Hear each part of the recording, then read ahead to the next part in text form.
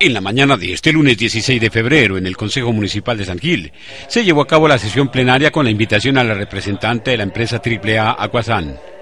El objetivo es escuchar un informe acerca del funcionamiento de la empresa en tres puntos. El primero, estado financiero contable, del que se afirma que la empresa no está dando pérdidas. Gracias a Dios lo bien que le fue a la empresa el año pasado en sus finanzas, tuvimos ganancia gracias a un saneamiento contable que se hizo. Eh, subieron nuestros eh, ya no tenemos, ya no tuvimos pérdida. Veníamos de una pérdida primero de 600 millones en el 2010, después en el 2011 una pérdida de 116 millones, en el 2012 y 13 ambos años tuvimos una pérdida de 282 millones y este el año pasado 2014 tuvimos una ganancia de 30 millones de pesos. Sobre el caso de los interceptores, la funcionaria reconoció que ese sistema de aguas negras ya fue entregado al municipio, pero hizo la salvedad que se está en espera de la entrega total de la documentación del trazado general de la tubería, sus diseños y memorias. Estos fueron entregados al municipio el 29 de diciembre del año pasado.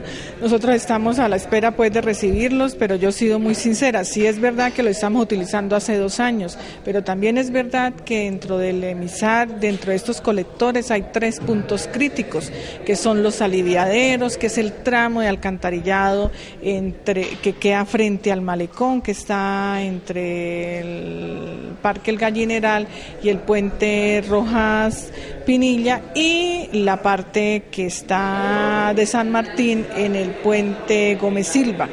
Respecto al caso del relleno sanitario, se informó que se buscará la coordinación para la corrección de los problemas de residuos sobre la carretera a la vereda del Cucharo. Comentó que la cárcava tercera está a punto de llenarse y se proyecta una cuarta fosa, cuya financiación es producto de gestión del alcalde, con el gobierno nacional financiado por el BID, Banco Interamericano de Desarrollo.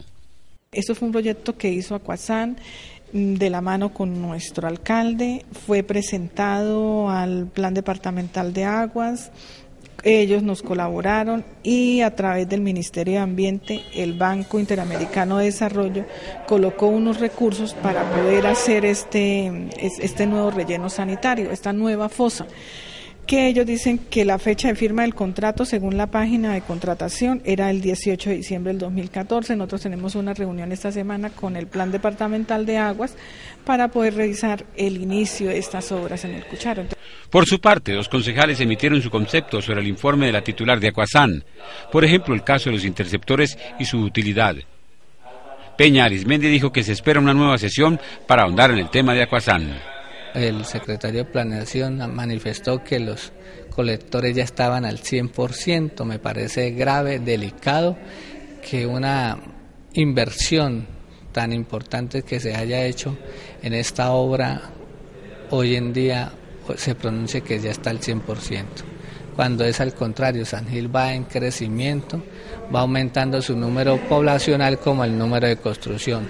Acuasan en años anteriores venía generando pérdidas eh, financieras y ya en el último año eh, generó ingresos, generó ganancias y eso eh, muestra que había una buena gerencia y que se están haciendo las cosas bien. Falta mucho por mejorar, eso siempre lo vamos a, tener ahí presente, pero la empresa se dio una modernización en el tratamiento de agua, eh, se está mejorando el relleno sanitario y es importante todo, eso, eh, todo esto que se está dando. La nueva cárcava tiene un costo de 2.379 millones de pesos, totalmente financiada por el BID. El municipio no coloca ni un solo peso, dijo la gerente del acueducto.